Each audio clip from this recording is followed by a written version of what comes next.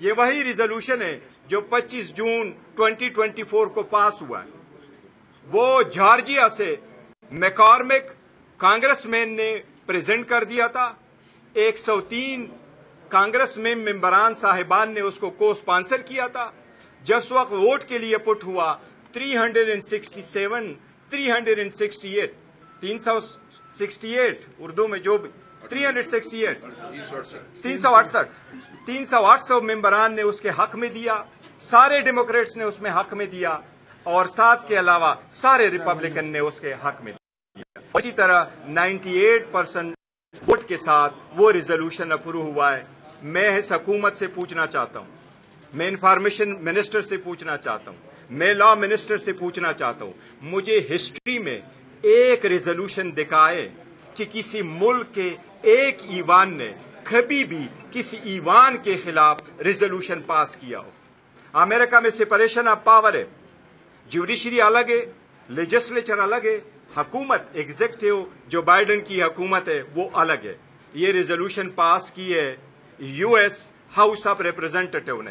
اس کو کسی صورت میں گورنمنٹ کا انٹرفیرنس نہیں کہہ سکتے۔ جب کبھی انٹرفیرنس ہوگی یو ایس حکومت کی طرف سے ہم ہولی سولی اس کو کنڈیم کریں گے۔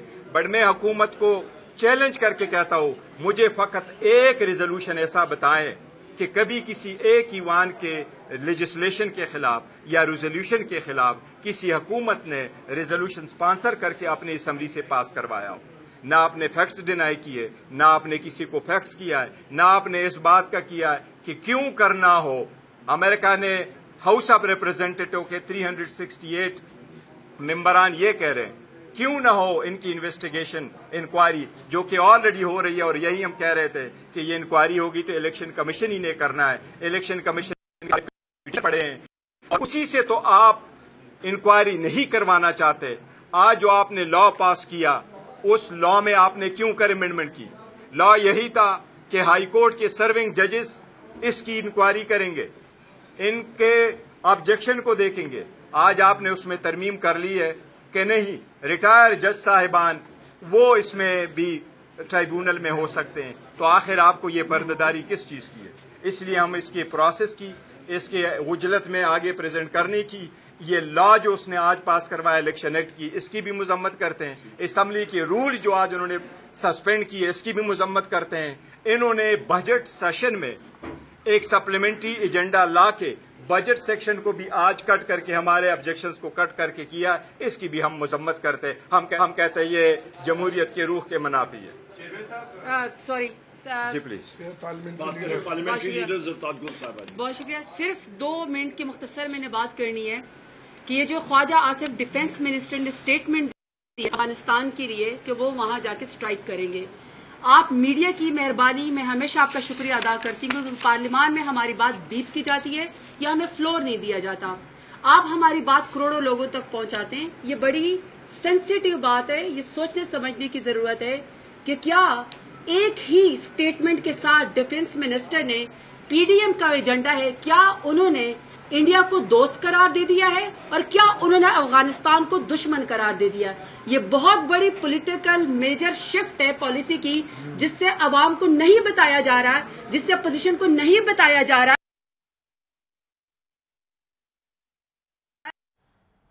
جناب، براہ راست مناظر دیکھ رہے تھے پی ٹی آئی کے رہنماؤں کی میڈیا سے گفتگو ابھی جاری ہے اور اس دوران ان کا کہنا تھا کہ آج جو قرارداد ایوان میں منظور کی گئی ہے، ہم اس کی مذمت کرتے ہیں۔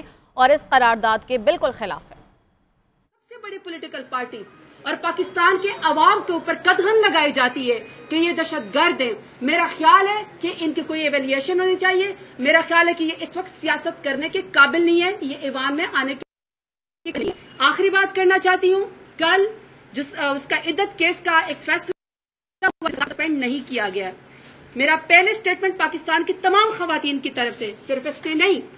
کہ میں اس وقت پی ٹی آئی کو یا ایس آئی سی کو یا پھر چونکہ میں پاکستان تحریک انصاف یا عمران خان کے ساتھ خاتون، کیونکہ میں اپنے حلقے میں جاتی ہوں، میں خواتین میں جاتی ہوں اور میرا اپنا vote bank prime minister Imran Khan کی وجہ سے خواتین کا ہے۔ میرا ووٹ بینک اور سپورٹ خواتین کی ہو چاہے وہ خاتون جو ہے وہ کوئی جاب کرتی ہو، سب نے مجھے یہ پیغام دیا ہے کہ آپ نے بشرا بی بی کو کہنا ہے کہ ہم ان کے ساتھ کھڑے ہیں۔ ہم ان کا ساتھ دیں گے۔ تمام خواتین کی، پاکستان کی خواتین کی یہ تزلیل ہوئی ہے کہ آپ کسی خاتون کو عدت کے اندر یہ غلازت والا کیس کرے دیا ہے۔ تو یہ کون سے قانون کے اندر ہے کہ آپ ان کو نکاح کے کیس کے اندر آپ دہشت گردی کے ڈیتھ سیل کے اندر رکھیں؟ یہ انسانی حقوق کی خلاف ورزی ہے۔ آج آپ نے عمران خان کا مقابلہ نہ کر کے ان کی سیاسی اس کے اوپر آپ نہیں مقابلہ کر سکتے، تو آپ نے ذاتی زندگی کے اوپر قدغن لگائی ہے۔ کل کو کوئی بھی کاذب شخص، کل بھی کوئی بھی جھوٹا شخص اپنے کسی جو جس کے ساتھ ان کی ڈائیورس ہوئی ہے، کسی خاتون کے اوپر سوال کھڑا کر دے گا۔ تو تمام پاکستان کی خواتین اس بات سے افینڈ ہوئی ہیں۔ تمام بشرا بی بی صاحبہ کے ساتھ کھڑی ہیں۔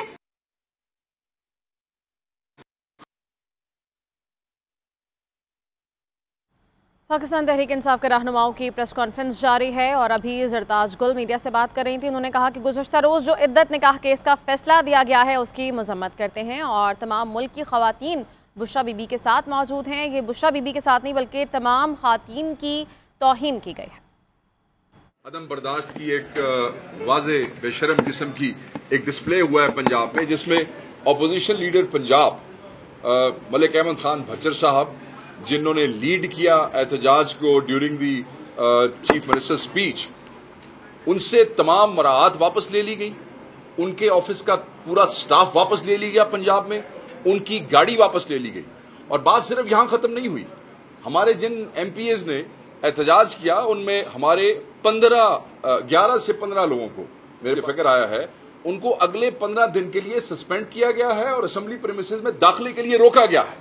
ایک طرف تو یہاں پہ ایک طرف تو یہاں آ کے وزیر اعظم جو ہیں وہ اپوزیشن لیڈرز کو کو مذاکرات کی بات کرتے ہیں یونائٹ ہونے کی بات کرتے ہیں ملک کے مسائل حل کرنے کی بات کرتے ہیں اور دوسری طرف آپ اندازہ کر لیں کہ ہم پنجاب میں پی ٹی آئی کے ووٹر کس فستائیت کے اندر زندگی گزارے ہیں کہ عام ورکر کی زندگی کے بارے میں تو میں آپ کو کیا کہوں؟ عام ووٹر اور ورکر کے ساتھ تو جو حشر ہو رہا ہے وہ بتانے کا نہیں ہے، روز ایف آئی آرز ہو رہی ہیں۔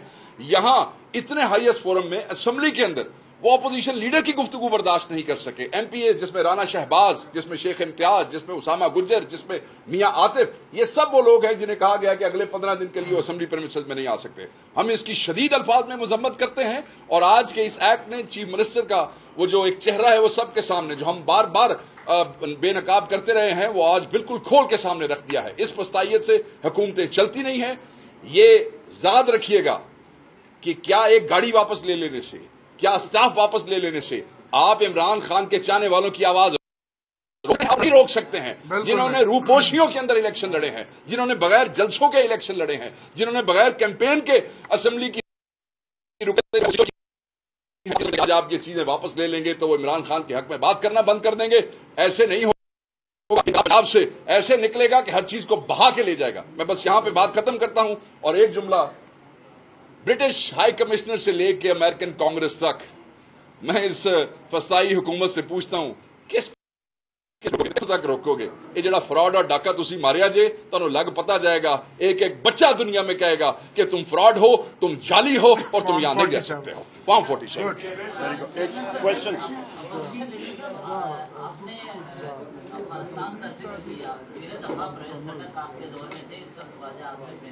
دفعہ وزیر دفاع کتنا ایک آزاد ہے ہم سب جانتے ہیں کہ وہ کتنا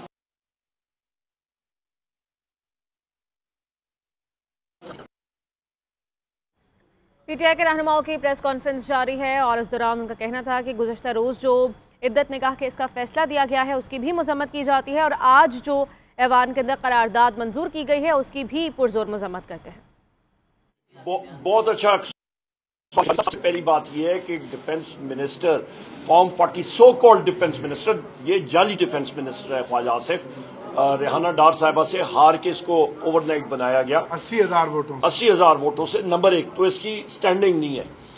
دوسری اہم بات یا